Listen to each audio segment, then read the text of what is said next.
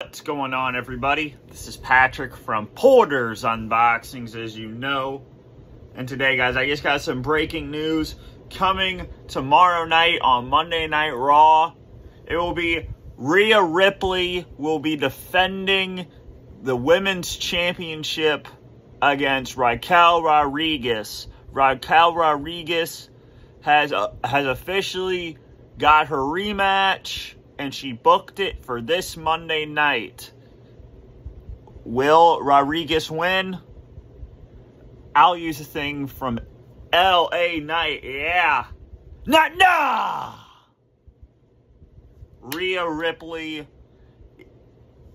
in my fact, will retain the women's title, even though that Dominik Mysterio is banned from ringside or barred from ringside, I still have faith in mommy Rhea Bloody Ripley.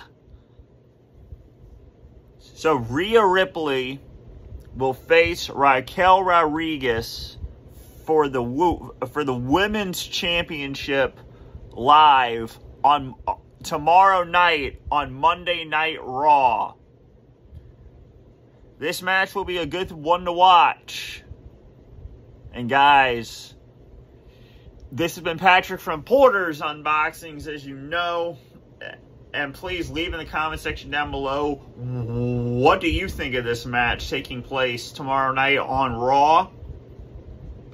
And please hit that subscribe button right here. Right here. Guys, guys, this has been Patrick from Porter's Unboxings, as you know. And about Peace.